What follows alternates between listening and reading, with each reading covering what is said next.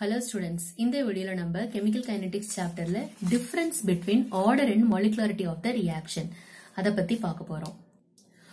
முன்- முன்னாடி வீடியோல மாலிகுலாரிட்டினா என்னன்றதை நான் டீட்டெயிலா உங்களுக்கு சொல்லி கொடுத்தேன். இந்த வீடியோல ஆர்டர் ஆஃப் த ரியாக்ஷன்னா என்ன மாலிகுலாரிட்டி ஆஃப் த ரியாக்ஷன்னா என்ன அதனுடைய டிஃபரன்ஸ் என்ன அப்படின்றத மறுபடியும் ஒரு தடவை நான் எக்ஸ்பிளைன் பண்ணிடுறேன். ஒரு ரியாக்ஷன் இருக்கு அப்படின்னா அந்த ரியாக்ஷனுடைய கோஎஃபிஷியன்ட் நம்ம அப்படியே சொல்றோம். ஃபார் எக்ஸாம்பிள் ஃபார் எக்ஸாம்பிள் நம்ம என்ன பண்ணலாம்? ஒரு reaction CH three CO CH three plus H two O it gives இது வந்து நம்ம கால்குலேட் பண்ணோம்னா என்ன வரும்? ப்ராடக்ட் என்ன வரும்னாக்கா? CH three COOH plus CH three OH இப்போ இங்கே வந்து ஒன்னு டூ இதுக்கு மாலிகுலாரிட்டி வந்து it is consider to be two molecularity of the reaction வந்து இதுக்கு டூப்பா ஆனால் ஆனா ஆர்டர் ஆஃப் த ரியாக்ஷன் என்னது? ஆர்டர் வந்து ஒன்னுன்னு சொல்றாங்க. ஏன்னா எக்ஸ்பெரிமெண்டலா இந்த ரியாக்ஷன் வந்து ஃபர்ஸ்ட் ஆர்டர் தான் ஆன்சர் பண்ணுது அப்படின்றாங்க.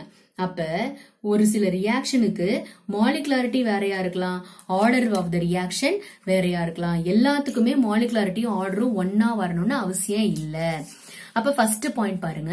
It is sum of the powers of concentration terms involve in the experimentally determined ரேட்லாம் அப்படின்னா அதாவது எக்ஸ்பெரிமெண்டலி டிட்டர்மைண்டு வேல்யூவை தான் நம்ம ஆர்டருக்கு எப்பயுமே சொல்ல முடியும்.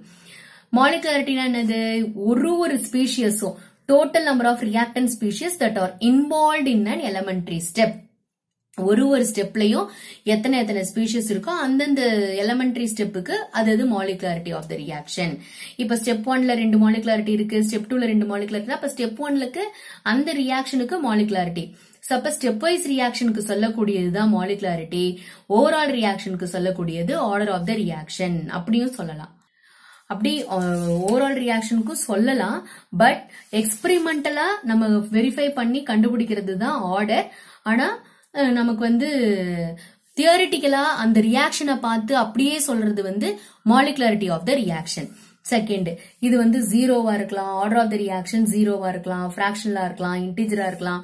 ஆனா இது ஹோல் நம்பரா மட்டும்தான் இருக்கும்.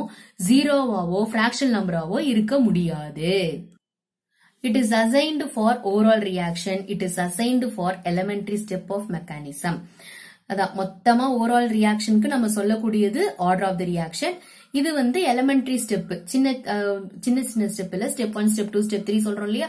ஒரு ரியாக்ஷன் நடக்கிறதுக்கு அதுக்கு சொல்லக்கூடியது தான் molecularity of the reaction okay so this is difference between order and molecularity of the reaction next வீடியோல integrated rate law for the first order ரியாக்ஷன்னா என்னன்னு பார்க்கலாம். Okay thank you students